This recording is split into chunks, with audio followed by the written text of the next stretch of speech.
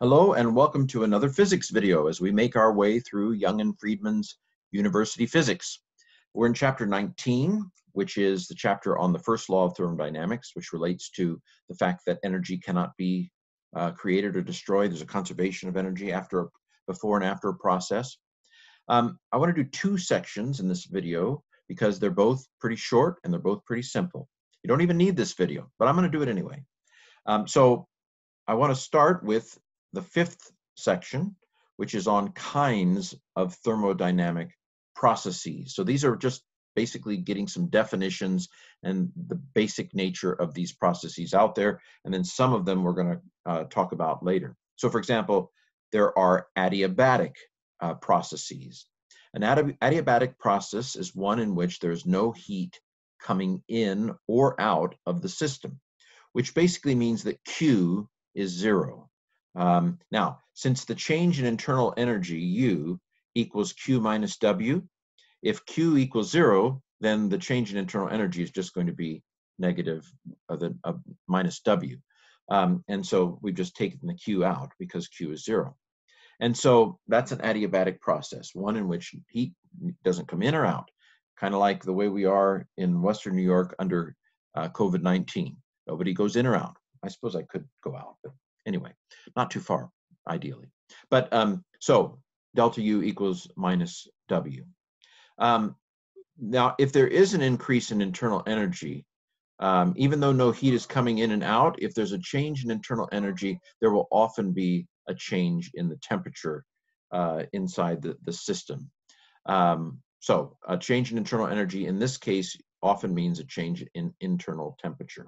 Okay, even though, uh, so and the change in internal energy is going to equal the negative of the work done. When work is done uh, on the surroundings of a system, it's negative work. If work is done on the system by the surroundings, then it's positive work. Okay, adiabatic processes. More to come on adiabatic processes. Isochoric. Now, iso means same. There, there are three isos here, isobaric, isothermic, thermo, I can, I mean, I, I feel the heat. Uh, barometric pressure, I feel the pressure. And so basically isochoric is the one that isn't the other two and it's same volume. It's a process that takes place at the same volume. Well, this kind of uh, work that's done uh, on the environment or on the system tends to involve a change in volume. And so a for a isochoric um, situation, work, since there's no change in volume, work is zero. And so that in, if the if the Q fell out of this equation, delta U equals Q minus W, the W falls out of this equation. So the W is zero, and so we're left with the change in internal energy equaling the um, the change in heat, basically the heat that's added or taken out of, of the system. Uh, so isochoric, a process that takes place at the same volume. Again, isobaric, I remember this because iso means same, um, and barometric pressure.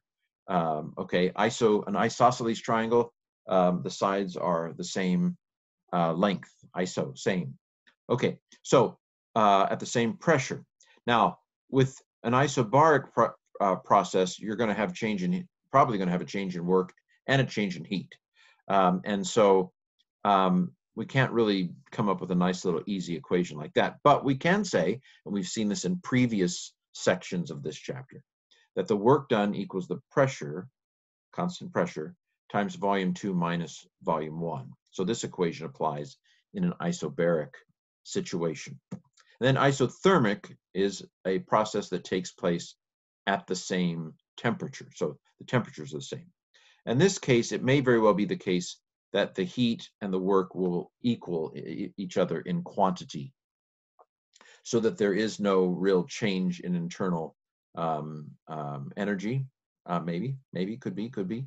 Okay, so isothermic. All right.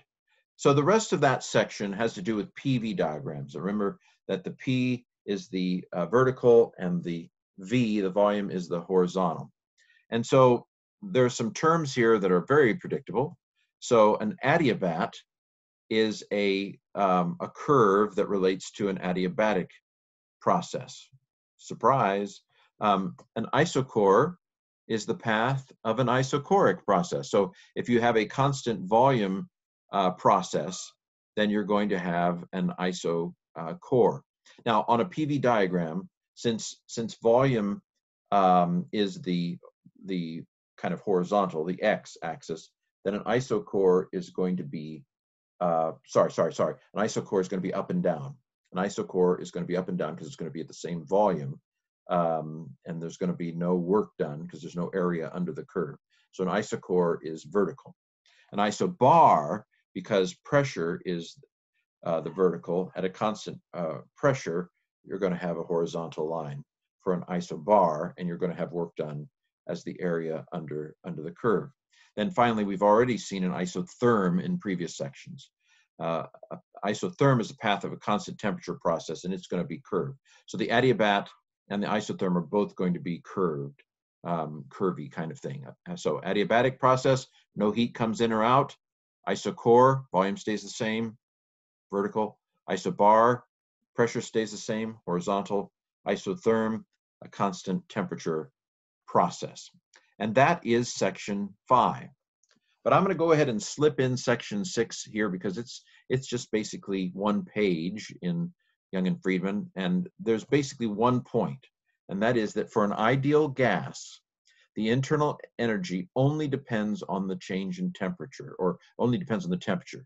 Um, um, not even the change, it depends on the temperature. So the pressure, the volume is irrelevant uh, for, for determining the internal energy uh, of an ideal gas, only the temperature.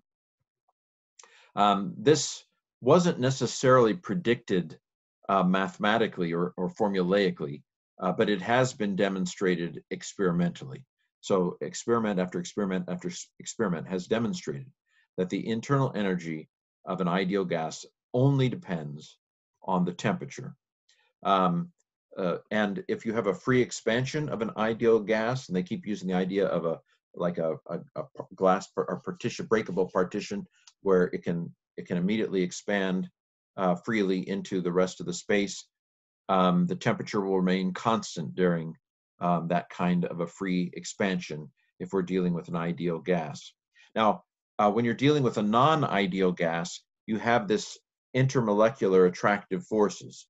And so if, if, if a non-ideal gas uh, expands, uh, the uh, kinetic energy goes down and the potential energy goes up.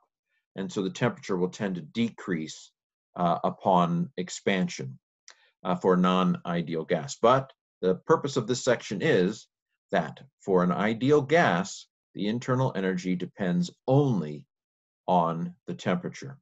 So we did two sections, 19.5 and 6, and we are making our way uh, through, um, we're almost done with Young and Freedman's chapter 19 on the first law of thermodynamics.